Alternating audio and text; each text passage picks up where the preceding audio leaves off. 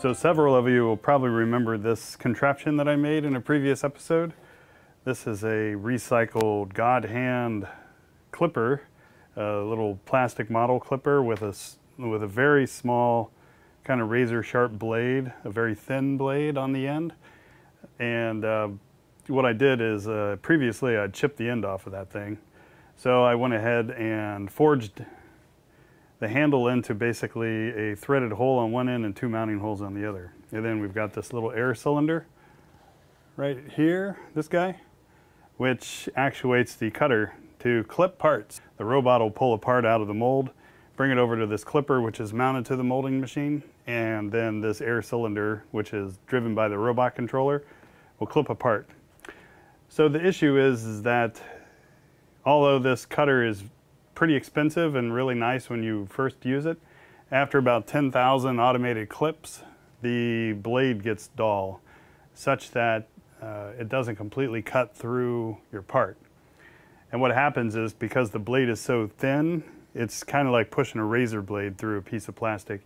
And 90% of the sprue that we're cutting off will cut, but the last 10% remains hung on there because um, this cutter doesn't actually have a large rake angle. So it slices into the plastic, but it can't actually pop the, the remaining part of the, of the sprue apart, you know, the part of that hasn't been cut. So I went and got some more inexpensive clippers. These are basically punch sheet metal clippers. And these have a much larger rake angle, like a 45 degree rake angle. So here's the old one. Now here's the new one, and you can you can see we got like a 45 degree rake angle. So what happens is even though this cutter isn't as sharp as the fancy one below, it provides enough force to actually break the remaining strands of plastic apart after the cut has occurred, you know. So there's there's like a little string of plastic remaining after you cut, but this large angle will actually pop that thing you loot. So the mission today is to pull this guy off and then replace it with our cutter. All right, so the first thing we want to do is basically cut the, uh, the rubber handle off of our cutter. I bought five of these in a pack on Amazon. So I got my old, my old knife here and we'll see if we can slice this, this handle off.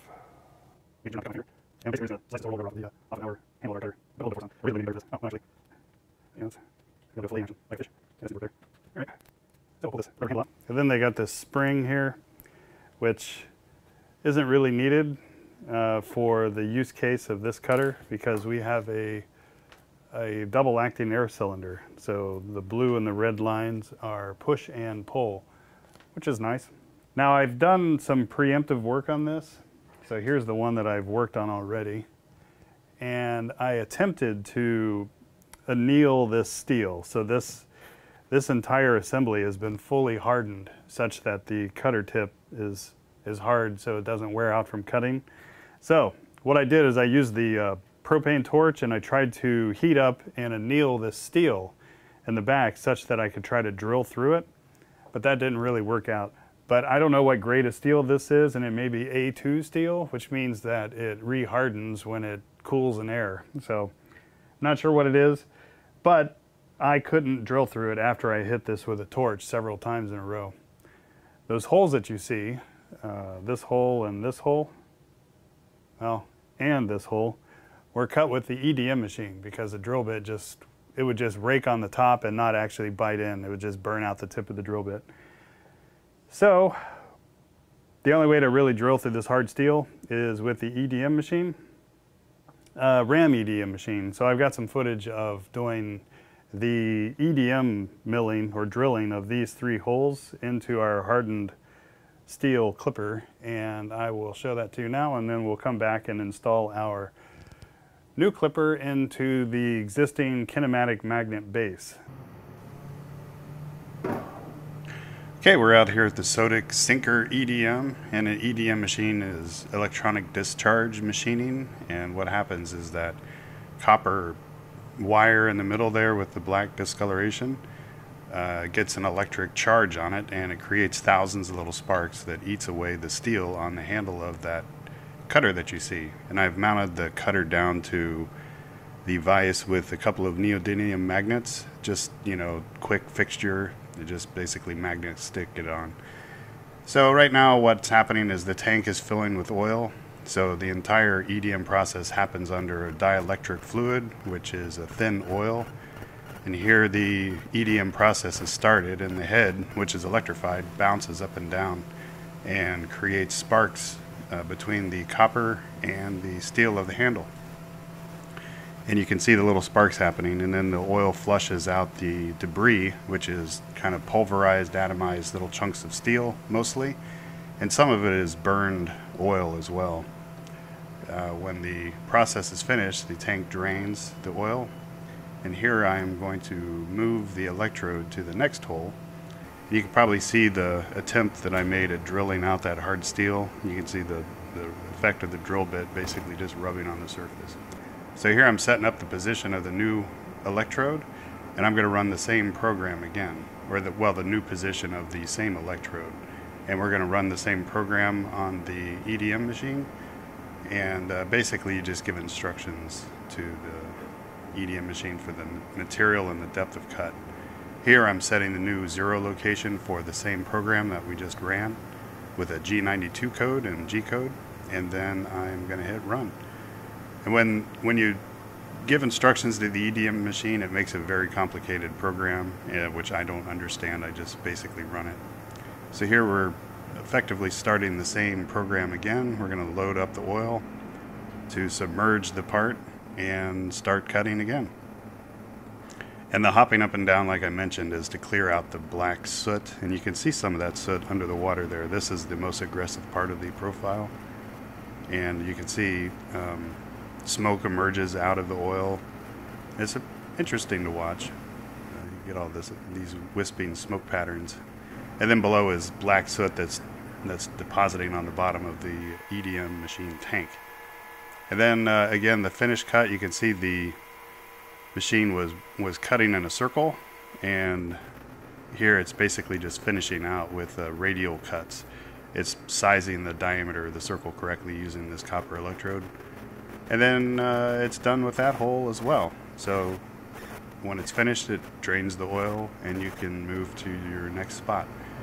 And we can just keep continually uh, punching holes with this same copper electrode. And you can see I've actually cut deep holes with this because there's about maybe an inch and a half or like 40 millimeters of black soot on the uh, copper wire itself. And then this is the final hole we're going to do. We'll just go real quick with this one.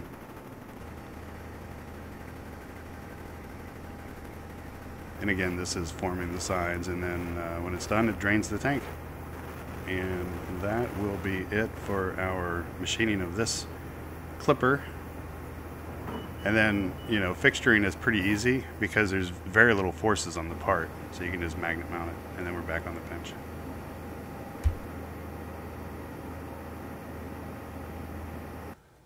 All right, so we're back. So here's our part that we EDM'd with our three holes, even though the timeline in the video doesn't quite make sense, but that's okay. And now we will take off our old cutter. I disconnected one screw already. And these are M3 socket head cap screws. So the idea is to mount our cutter onto the same kinematic block but still allow this to travel without us rubbing on the aluminum. So we got to stand off this side of the cutter enough to allow the screw to screw in and have a nut on the backside. The screw being the, the screw that goes through this little uh, rod end, which is a model airplane part for aileron control, and it can screw in and out. So we can adjust you know, the travel of our cutter by me threading this, this little uh, ball bearing tip, or rod end is what they're called, onto the threaded shaft of this air cylinder. And that's where our screw is going to go through and then connect to our cutter.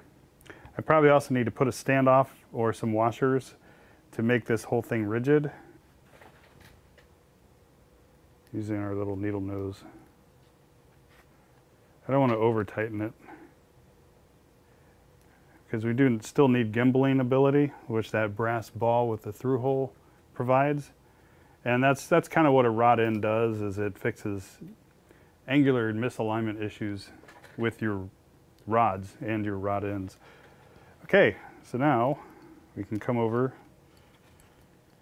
and yeah, this, unfortunately, uh, right now this, this handle is interfering with the body of the hose connection. So I may have to loosen this main nut that holds the cylinder onto the pivoting mount that I made previously and rotate the entire cylinder 180 degrees so that we so I don't have an interference with this handle. Let's see if I can flip this cylinder over 180 degrees. Oh, oh, there we go. Solve that problem. Let me disconnect these. So these quick disconnects, you got to push down on the little ring there, and a bunch of sheet metal little teeth let go of the of the tube. Let me pull out the other one here. Sometimes you can one-hand it. There we go. All right. But then they also usually pivot around the, the mount. I think that's probably a M5 threaded hole in the end of this brass fitting into the air cylinder itself. Okay, so we spin that guy around. And then, uh, so this nut basically is how the air cylinder mounts into the little bracket I made last time out of aluminum. So the body of the air cylinder is just threaded, so you can pull it in and out like so.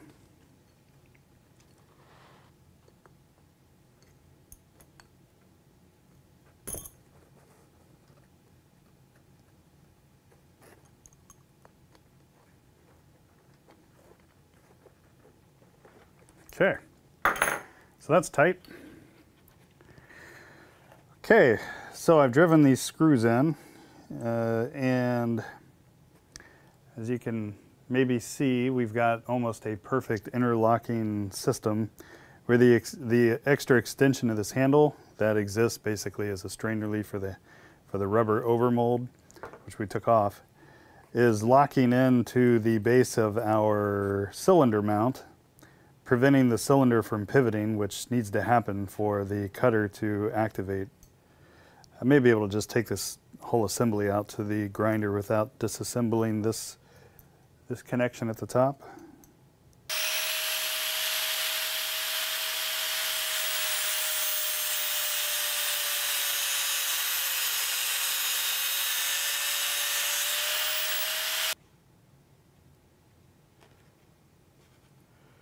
Fiddly work. There we go. There isn't very high forces on this thing, so that's that help, that's helpful. You can kind of see we're making a mechanical linkage here. So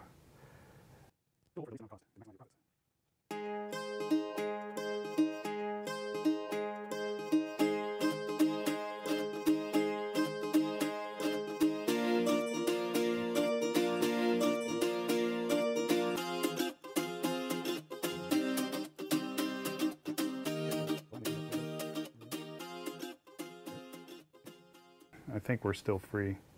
Okay, yeah, let me, I'll put a little drip of Loctite on the top. I've, I've loosened this thread, so we'll allow the Loctite to kind of drip down inside between the threads. That was too much. Pull some of that off.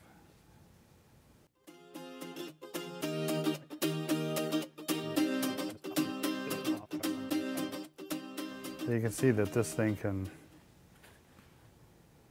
can move up and down, so it, it is still free, which is good. And then we can open and close. So we can stick this back on the molding machine and see how it does. Oh, let me hook the uh, air lines back. Of course, I'll have to look at the video to remember was red in front or I think red was in the back because that was the harder one. And then blue was in the front. There we go. We are back in business for the homemade automated sprue cutter for the injection molding operation. So that's loaded up. Okay, here we go. So here's the magnet base. This is the other half and it pops right on. And there's where our cutter is gonna exist. Good to go.